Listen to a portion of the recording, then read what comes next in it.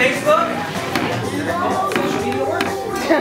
I'm John Mavar, and about a few years ago, I helped uh, take over the Neighborhood Watch because the lady who started it uh, you know, decided she was going to move on and do some other things. So, of course, I uh, said, why not? I live here in the neighborhood. and Been active. I'm on 8th and Walker, so I'm a neighbor. And also, this Neighborhood Watch isn't just for this area only. This is for everybody that either like to start a neighborhood watch in their neighborhood and need some more information. Um, you know, we could talk afterwards on how to start that in their because they're all welcome if you're not from of course. Neighborhood, what is the neighborhood? What area are you talking about? Well, we started out as the 8th Street, 7th Street, 9th Street, down to Laurel Terrace in Leland, all the way up to about Weymouth, and then up to, I believe, at uh, Ellery.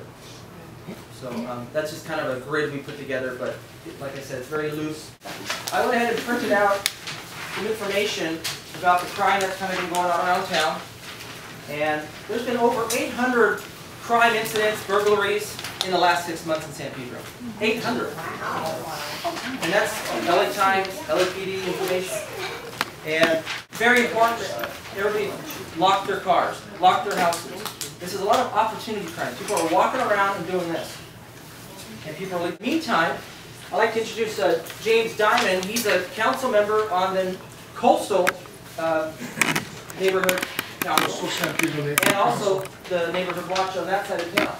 So James is going to talk a little bit about their successes and what they're doing as well. and what I like to see us implement in our part of town, to be very honest. So. So everybody, my name is James Diamond. I'm the Chairman for Public Safety for Coastal San Pedro Neighborhood Council. When I accepted this position, the first thing I started doing was doing the statistics. What's really going on? We see these things that are happening in our town, the, the, the recent gunfire, uh, that we hear of the home invasion robbery. I have to tell you, when he says there's 800 instances of, of crime, more than likely the crime that we will be victims of.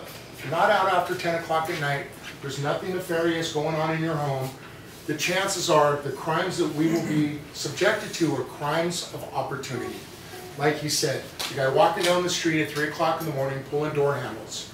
Um, so this is where neighborhood watch is very, very, very important a certain area right up here around White Point School, they had six break-ins in six months, which is just extremely high for a neighborhood. So what the neighbors all got together and did is, they had a block party, and they installed cameras on all their homes. But they, they did something that was more important. They did what Neighborhood Watch is meant to achieve. I know, and I'm, I've lived here my entire life, my family's been here for a decade. I know that there are people that live on your street who you wave at when you're watering your front lawn or on your walk, but you don't know who those people are.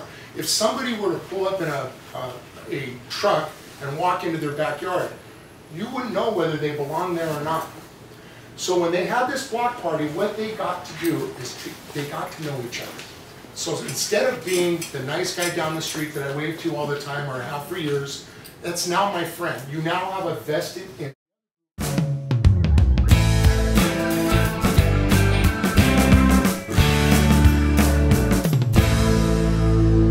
available, that's one of my businesses. Across from the uh, Waterworks is my other business. But um, I've been on board about a year and a half now. Uh, I enjoy it. In fact, I joined because I came to the meeting here that John had a, a couple of years ago. What's that? The yeah. meeting that you had a couple of years ago, that made me join the neighborhood council. Uh, I'm Pedro. Uh, so I'll leave my cards here. If there's questions that you have, things that you want done, that you come to our, our board meeting. It's the second Monday of every month. Um, I think we accomplished a lot for this.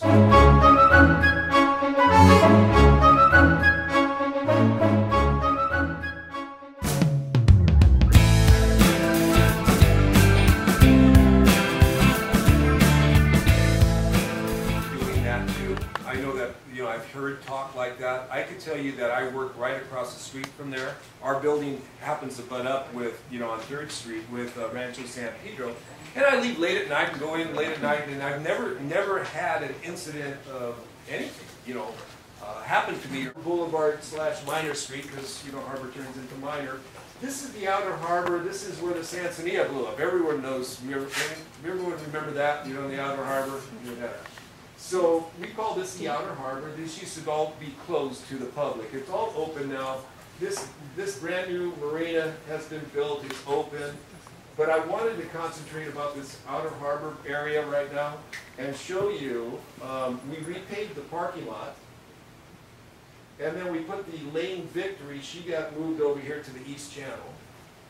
And this is a shot last year when we had a cruise ship in the outer uh, harbor. Now, we typically don't have cruise ships in the outer harbor. The only time we have, so on occasion, we'll have three cruise, cruise ships in uh, the port.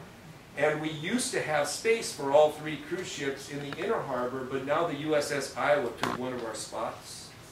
So with that happening, when we have our three, third cruise ship, it gets uh, docked out here. And this year coming up, we'll see that happen about, I think, six times.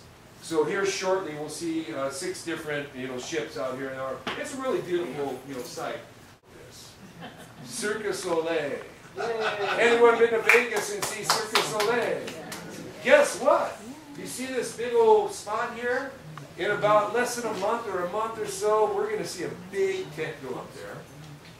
And Totem is coming. I put, it's really a nice opportunity, uh, and we're very fortunate here in San Pedro to have, you know, such entertainment. I mean, this entertainment doesn't happen everywhere, and uh, we're really trying to attract some nice entertainment down here in San Pedro. So I hope you take advantage of it.